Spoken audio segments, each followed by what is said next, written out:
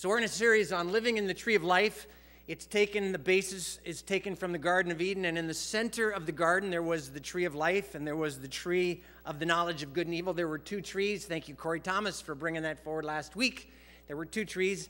The tree, living in the tree of life, is a picture of God is in the center. He's the center. Jesus is God, and He is the revelation of who God is and what He wants to be in our lives. He's the uniter of our lives to be what we're supposed to be. So, living in the tree of life is living in the person of Jesus Christ, that He is our life. So, this morning, would you follow along with me? There's some verses right here. Jesus was speaking, and it says, Then Jesus, then. Why don't you circle then, and sometime later you can look and say, What was the then, then for? And why did he say then? Because something happened before he said then, and you want to find out what the then is then for. Therefore, you can know what he's saying then for. You get it? It's really strategic, too, because Jesus said some then right before then. It said, anyway. Then Jesus said to the crowd, this is 2,000 years ago, recorded his words. We're a crowd this morning. May Jesus be saying this to us. Then Jesus said to the crowd, If any of you wants to be my follower, if any of you wants to, Jesus never forces himself. If any of you wants to be my follower, you must put aside your selfish ambition selfish ambition. That basically means that my life and my wants are not the center of my life. I'm not the number one priority. My selfish, put aside your selfish ambition, shoulder your cross daily, and follow me. And follow me. So you must put aside, you must take up your cross, you must, if you want to follow Jesus if you try to keep your life for yourself, everybody say keep. How many want to keep your life? Yeah. If you try to keep your life for yourself, for yourself, you will lose. You will lose it. But if you give up your life for me, who's me? Jesus. You will what? Find true life. Living in the tree of life. Find true life. If you try to hang on to your life, you will lose it one way or another, sooner or later. If you will lose your life for Jesus' sake and for his good news, then you will find what will you find? In the word in the Bible, there's several, there's lots of words. In fact, uh, in the original languages, about 11,000 different words. But uh, the number of times a word is in the Bible, the word believe is approximately 272 times in one form or another in this book. Believe. Have faith in God, believe in God. The word pray, how many believe in praying? Prayer, prayer. Prayer, prayer is just asking God, just making your request. The number one rule in the kingdom of heaven is to ask. Is to ask. So that's pray. 371 times. Pray. The word love, we're starting to build up here. The word love is in the Bible uh, 733 times. The word give is in this book approximately 2,162 times. The word give. Everybody say give. How many like it when the other person's doing the giving? So turn to the person next to you and say, Give. And that's what Jesus said. If you want to find true life, you must give your life. You must give. So everybody say, Give one more time. And I, uh, I love it because my human nature, my, I stick myself in the center, not the tree of life. I'm in the middle, and I go, I hope you give. You know, you need to give. I know what their problem is. They got to give. So uh, if you want real life, you give. Jim Elliot was one of five missionaries that was killed in Central America in January of 1956. They were trying to reach a small tribe of 70 people. And these five young fathers all died that day. Landed their plane in, the, in a, uh, right off a riverbank there and trying to reach out to an, a people group in Central America that nobody had ever shared about Jesus with them, and they were trying to build a bridge. They were trying to connect and make a relationship, and that day, all five of those men were killed. It was considered a tragedy. It was, the news reported it, um, and one of the men, his name is Jim Elliot, he said this before he died. He wrote this down. He said, He is no fool who gives what he cannot keep to gain what he cannot lose. And uh, his wife from 50 plus years ago, she's written a lot of books. Her name is Elisabeth Elliot, and she's still having a great influence today. We would say, what a, what a loss. Five young men all lost their life that day. We have no idea the number of people that have put their trust in Jesus because of these five martyrs for Jesus. He is no fool, Jim Elliot said, who gives what he cannot keep to gain what he cannot lose. So, what is the key to life? The key to life, that's what we're emphasizing. We read these verses about denying yourself. All like the key to life is giving for Jesus. Giving for Jesus. Giving for Jesus. If you will give your life for Jesus, he says you will find real life because you'll find what you're living for. You'll find your purpose in life. So why does God want me to give? Let me I just thought I'd give you a quick underlining before we worship at the end. We're going to worship by a, an expression of our faith this morning. But uh, let me just give you seven benefits of giving your life away. The word giving, if, uh, if I were to guess, most of us in this room would say, as soon as a, a pastor like me stands up and says the word give, what is the first word that comes to your mind? Money. Everybody say money. You know, money. Say money. How many like money? Two of us love money. Oh, this is a great message. I guarantee it. Money. But giving is all encompassing. Giving is all, so here's seven benefits to giving. Number 1, giving makes me more like my God. Makes me more like my maker. Giving makes me more like God. God loved the people of this world so much that he gave his only son.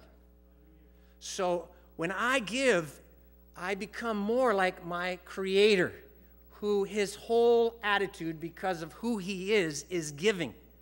He's a giver. God's a giver. When I'm a giver, I, rep, I reveal my father, what my father's really like. I uh, send a text every once in a while to my daughter when, you know, on occasion, and I will put at the bottom of my text, uh, sincerely, your earthly father. Because I want to emphasize the one who does all the giving, and I want to emphasize the one who was the perfect father is my father in heaven. I'm just the earthly father. And so he did the giving, and then he says, If you give, you'll be like me. You won't be God, but you'll be like me. You will be godly. So giving makes me more like my God. Number two, giving draws me closer to God. Giving draws me closer to God. In the message, it says, stockpile treasure in heaven. It's obvious, isn't it? The place where your treasure is, is the place you will most want to be and end up being. I like that. So stockpile your treasures in heaven.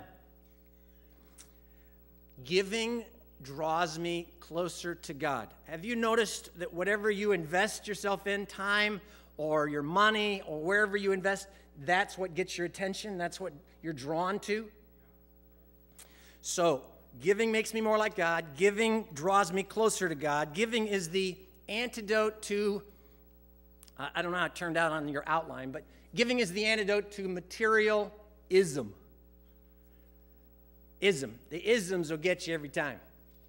Giving is the antidote to materialism.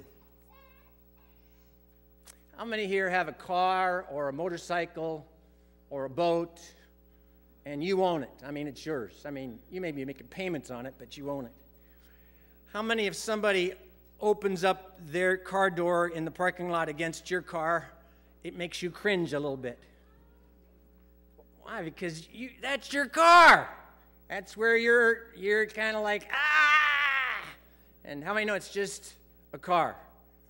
And Manuel Rodriguez, he can fix it too. or whoever, whatever body shop you want. I, I, am keeping Manuel in business these days. But uh, we get caught up on focused on the things, the things. Now, how many enjoy things? Can I see your hand? How many enjoy? How many here enjoy having a flat screen TV? I'm coveting your screen right now. Your TV is. I, how many enjoy high definition? TV. How many get that? Oh, uh, and I, man, I love it. I just invite me over so I can watch it. And uh, that's good. How many know uh, that in America we have a lot? Now, don't go, oh, I feel guilty for having so much. That's not the way, that's not the God of the Bible. He blessed you. He blessed you.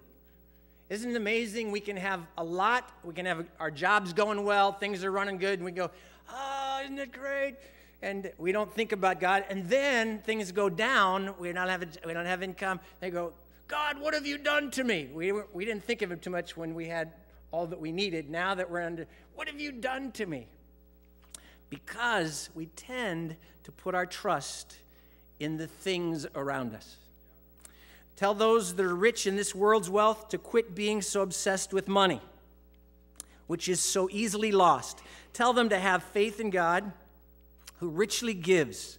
Would you circle that? Who richly gives. The reason America is the most prosperous nation in the history of the planet is because God has richly blessed us. Because God has given to us. Whether anybody acknowledges it, it doesn't matter. God is the source, and He's richly blessed us. He has richly blessed us. He gives us all we need for our enjoyment. Circle enjoyment. How many enjoy? How many have a smartphone? How many enjoy your smartphone? See, and, oh, I feel bad. I enjoy my smartphone so much. Enjoy it. God made it. He made it possible. You got your smartphone. How many got your iPad? How many got your third generation iPad and it's overheating on you now?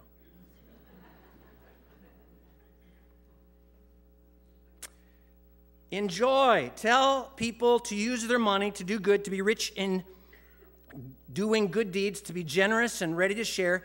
And if they do this, they'll build a treasury that will last, gaining life that is truly life. Giving and sending life. True life. True life. Number four, fourth benefit of giving giving strengthens my faith in God. How many here desire to have more faith in God? This is one way when we give, in some measure, when we give. Not just money, but money ties it all kind of together because money is such the, the, the language of our day. It give, giving strengthens my faith in God. Give and it, you will receive. You'll be given much. The way you give to others is the way God will give to you. Giving strengthens my faith in God. A fifth benefit of giving giving is the only safe investment. Ray gave the illustration earlier. Case closed. It's the only safe investment.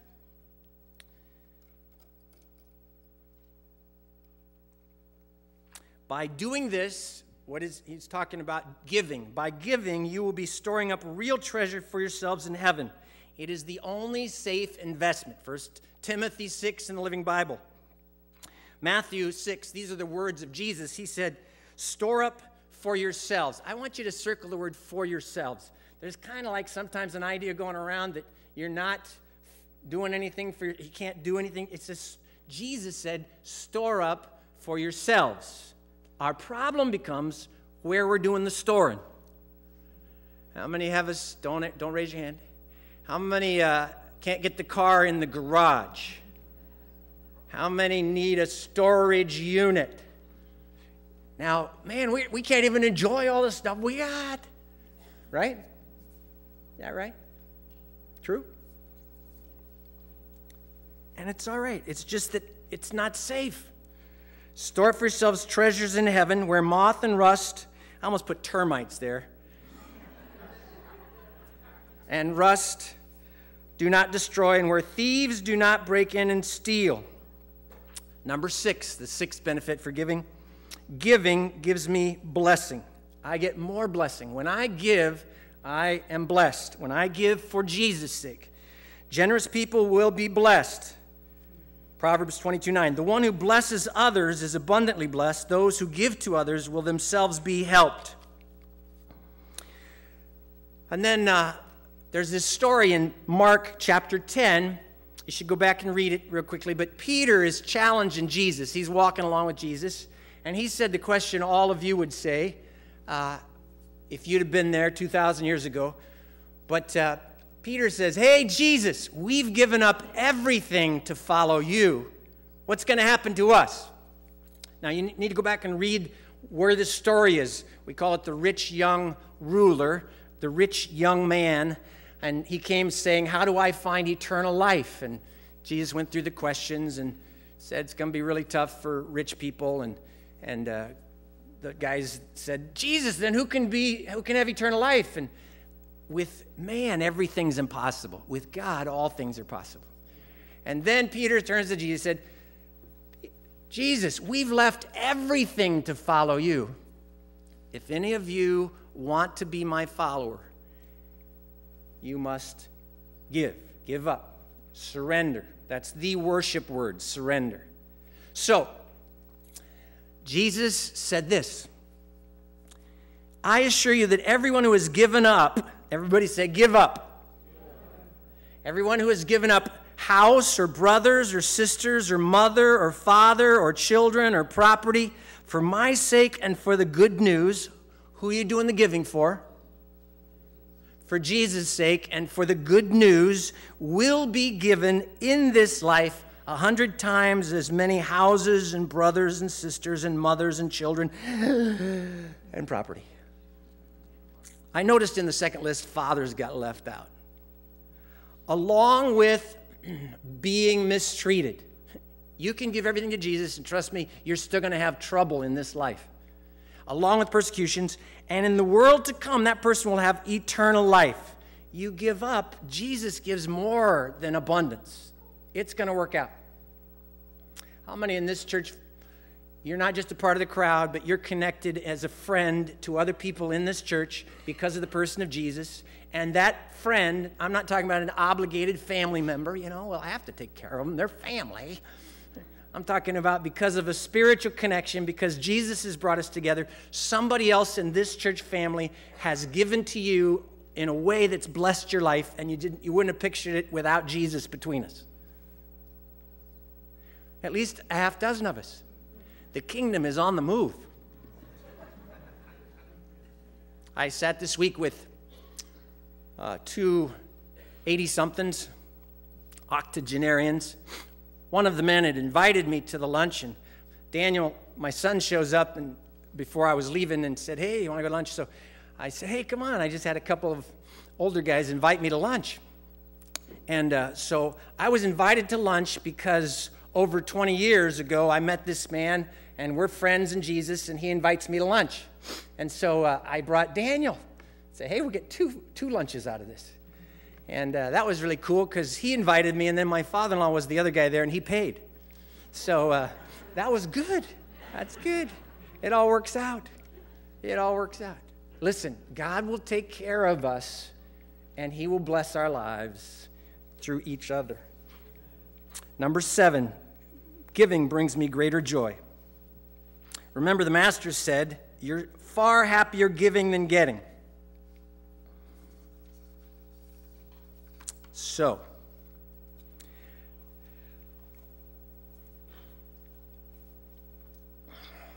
in conclusion, I just wanted to try and tell you a few stories. We live in America in the 21st century. We are very busy and we have lots of things that keep us going. And here's some names on a piece of paper. I just want you to know that over the last, since 1966, this church family have give, has given well over $3 million away for the cause of Christ around the world. Now, that doesn't count what's been given here in our community. In some way, that we could demonstrate the concrete faith we have in the eternal God. So, in the last eight months, believe it or not, I, I was kind of looking since the fall of 08. How many know that the quote unquote economy kind of tanked in the fall of 08? And now we're in recovery. How many wish we'd have a little more recovery? You got the idea. In the last eight months, the people sitting among you have given, on average, over $12,000 a month in the last eight months.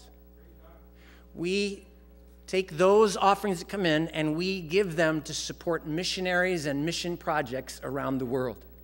That's how we, on a monthly basis, as we by faith give our offerings, then we give about $8,000. We've said, as God would provide for us, we will give to help these families overseas.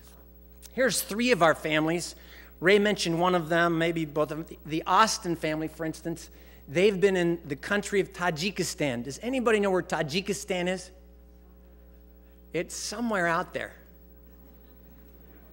And 15 years ago or so, Tim and Eve Austin took their young children, and uh, it, that's an old picture. They're on the left. Their family of five have been serving in a Muslim nation for these years. They're coming home to, for a while in May of this year, and hopefully they'll be a part of our church for a while. Their oldest, who is can't hardly speak, but their oldest daughter, she's been going to Monte Vista this year, and uh, they're coming home for a rest. But they've been giving their lives and their time and their energy in the country of Tajikistan. Tahu? Why would they do that? Because of the reality of the person of Jesus in their lives. And then we are part of several churches that partner with them to help them get there. Does that make sense? So that's what our missions giving is all about. I just want to tell you for the people in the crowd that are wondering, I get no percentage on this. Did you get that? Like, this is not a sales program. Like, if you give a lot today, I get a, I'm getting a, I get a little off the top. I don't get a penny. And I don't say that as a, I'm just saying that as let's do it because we love Jesus. Let's give because these people love Jesus and we're changing people's lives. The Arzunis, um, we're not supposed to say, but they're somewhere up in the north and uh, east, west, northwest part of China, serving there with their small children. And they are remarkable people and they've got their small family of four there serving, serving, serving. Uh, the Maddock family, they were with us last year. They're in the middle of India. In your planner, there is a family, the Dorsets, and they're in Southeast Asia as well. And Joanne Benson sent them an email and said, Hey, could just kick back, tell us, is it worth giving for Jesus? Tell us, does it really matter?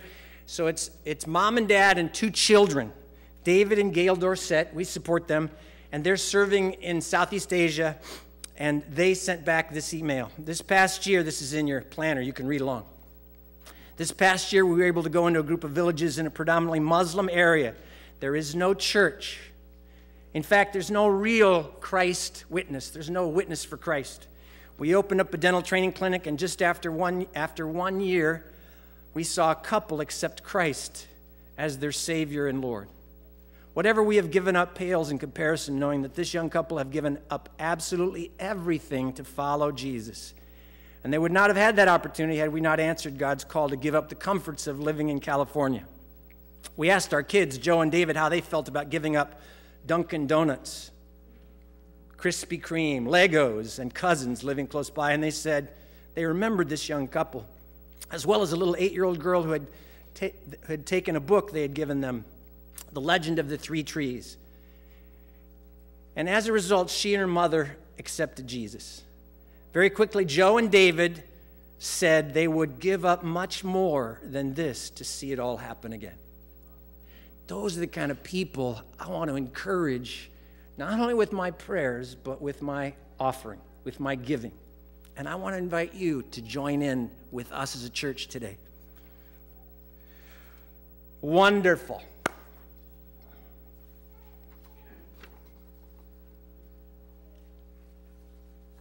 everybody take out, uh, if you would, uh, be willing, please take out a faith promise card. I want to explain to you. Now, if you are just visiting today, I know um, Fred Meredith, there's a lady here from Fred and Meredith Gateway Church uh, in, uh, and so forget it. It's not for Bobby. And, uh, and if you're a guest with us today, you don't have to do this. This is not, but everybody here who wants to follow Jesus, I'm encouraging it, do something. This is a tradition we have as a church to give for the gospel of Jesus around the world. And in my giving, I find that God gives back to me life. And so um, you need to take this out and you need to read through it slowly. This is my missions faith promise. As God enables me, I will help take the message of Jesus into all the world by giving through the missions program of my local church. That would be us. And then I, I marked on there monthly faith promise, and I put down a number there that Deanna and I will give on a monthly basis. And this is renewing as God, and here how, here's how it is. Uh, as God would provide, I'm believing what would God, what would God provide for us, and then give as God provides, and it all goes to support these missionaries. We call it missions giving, faith promise giving. Everything that comes out ultimately goes away, goes out. We're giving it all away. Because the key to living is what? Giving for Jesus. So I filled this out, put my name, Deanna's name, it's a signature, I signed it, and then uh, there's a little card there you can tear off. Now, I would like to invite, would you be willing to join with us? Because we believe in Jesus and we believe everybody in the world needs to hear about Jesus. Everybody in the world. And so, if you today are a believer in Jesus, I want to invite everybody to join. This is just one way we give. This isn't the total way you give. How many here, and, and, and I don't want to, uh, I just want to give you ideas. People say, I don't have any money to give to missions. By faith, what, how have you prospered and God could give through you? What could you believe God for? How many here love Jamba Juice, for instance? How many have never heard of Jamba Juice? How many here like coffee? How many have to have your coffee every day at Starbucks? And uh, man, Starbucks, they must be multi, multi. They put stores next to stores, across from stores. And, uh, and I love Starbucks. A chai tea latte and uh, chai tea. I like Starbucks. Let me see. Uh, Nicole would know maybe, but uh, how much is a venti chai tea latte? 405 $4.05, you know. I could never give up my chai tea latte for Jesus. I got to have it. So, what I'm getting at is everybody could do something if you wanted to. And I'm encouraging you, if you want to follow Jesus in this one way, just say, I'm to trust God for this. I will give this. The other thing I would like to say is don't discount yourself. Well, all I could, you know, I'm believing God could give through me, you know, 50 cents a month. Well, great. If that's your faith in God, then give it. But don't say, my 50 cents doesn't count. Because that's why God called us together, because everybody counts. It all matters. It all matters. Have you read uh, Jesus' stories? Matthew, Mark, Luke, and John. And he said, it says, Jesus one day was sitting at the temple treasury, watching the people give. Isn't that fun? He's sitting there watching. And he says, a widow came up. It says in, this is Mark 12 and Luke uh, 21, it says, A widow came up and she gave two small coins. And Jesus was watching and he turned to his disciples. He said, Hey, guys, did you see that? This, this widow lady who gave the last, she gave two coins. It was more than all of the rich people combined because she gave out of what she had. So your two coins count two. Does that make sense? Don't go, well, I'm not giving because you're going to give a lot. I can't give much. Everybody counts because together we make a difference. And you have no idea. So uh, please take out one of these in just a moment. And Deanna, if you'll come to the piano and. Uh, and I want to pray and say, uh, Have I explained this well, Ryan? Zoe, you got it? Understand? Does this sound good? I mean, I don't want to confuse anybody.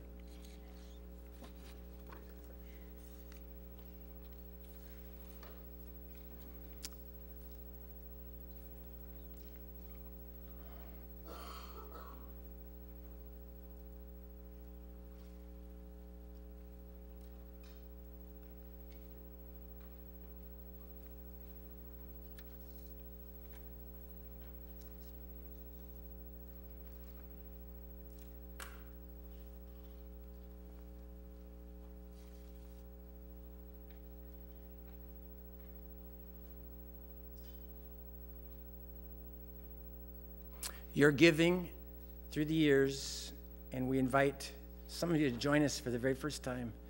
Giving for Jesus to send others has changed the world. We together partner with others, and it changes the world.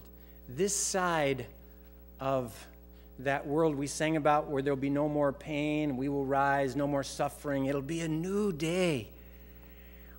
When we, then we'll figure it all out the impact that your life had,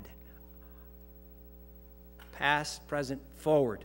But you are making a difference because you deny yourself, you give up, and you take up your cross and you follow Jesus. And some of you, it's a little spark, even to give today, even to express that you will trust God to give through you. It'll be a little spark in reconnecting we don't give because God needs our money. We give because we need Jesus in the center of our lives. We give because we want to follow him. And we give because people all around the world need to know Jesus, who made them, who loves them.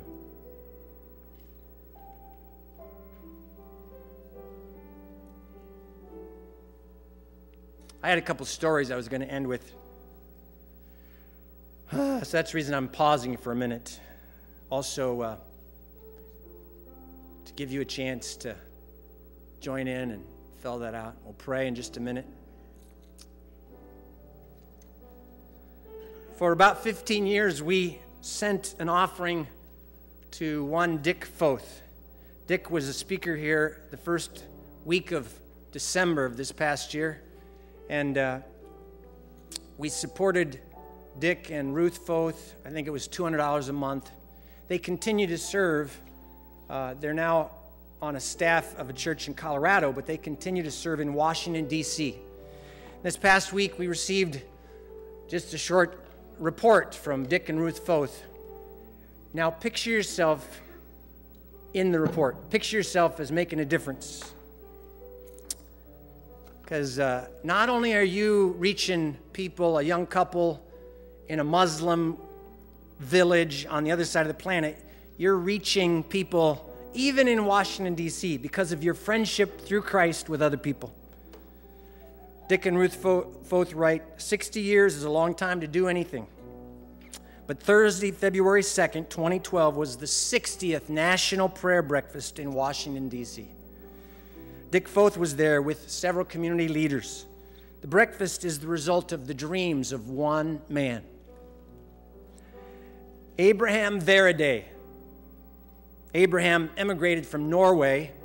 Why did they let a Norwegian come into the country? Abraham emigrated from Norway to Butte, Montana in the early 1900s. He became a circuit riding Methodist preacher with a great heart for the poor.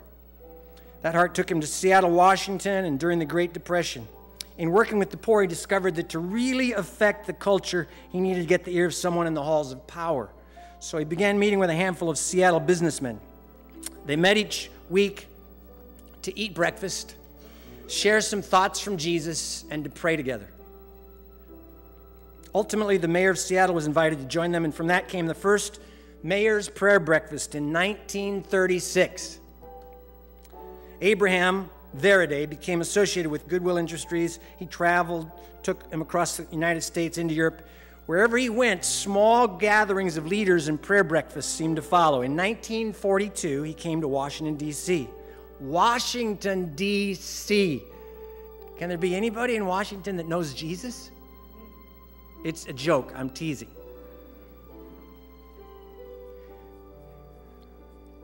And by 1946, there were private groups in the Senate and the House that met weekly, and those groups still meet today around the person of Jesus.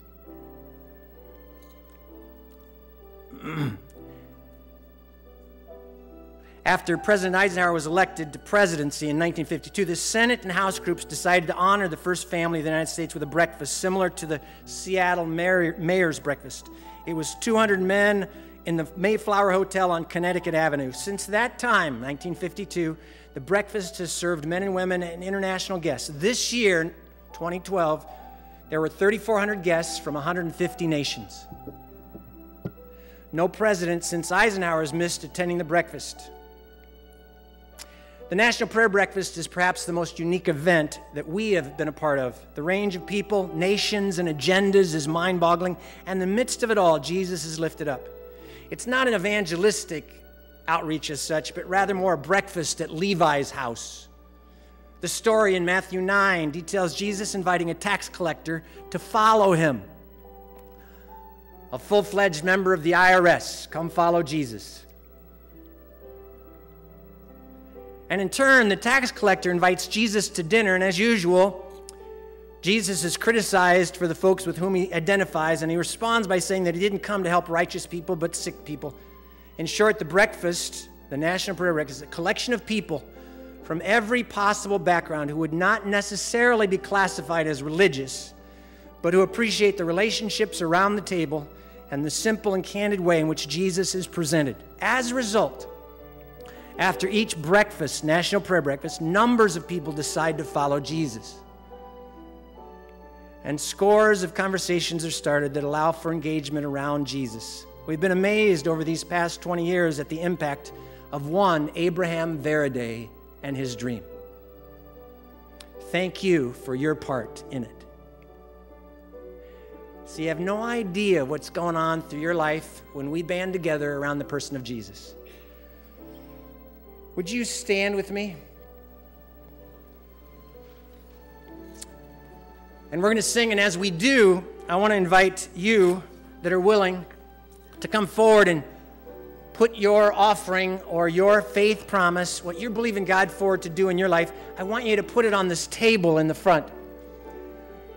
It's an act of worship. The first place we have worship is um, mentioned, the word worship in the Bible, is Genesis chapter 22. And that's where we get the idea of an altar. Because uh, God said to Abraham, Why don't you put Isaac on the altar? You, you need to give him to me. Oh. So he built an altar and he put his son Isaac on the altar. So this is a little expression. We're, we're, not, we're not putting Isaac, our son, on the altar, but we're going to put a little expression of our faith in God, and everybody matters. Now, if you want to, uh, I, I'm encouraging you, if you can, if you're able to make the steps and come down here and do it, your expression of faith encourages the faith of other people. But if you're not able to get down here in just a minute, we'll pass the offering bag around and you can put it in there. Does that make sense? But uh, sing as you know the song. Uh, say, as God would provide. Now, some of you, it's pretty difficult financially. What would you believe God could do through you? Don't underestimate what God can do through you. Our Father in heaven, as we express on this Sunday morning a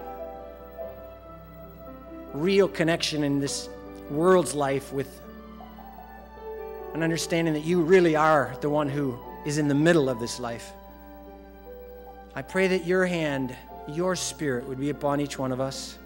I pray that you would bless each one regardless of where they are, regardless of what they are thinking or where they might be living in this hour, that you are a God who loves them, and that love was revealed through the person of Jesus.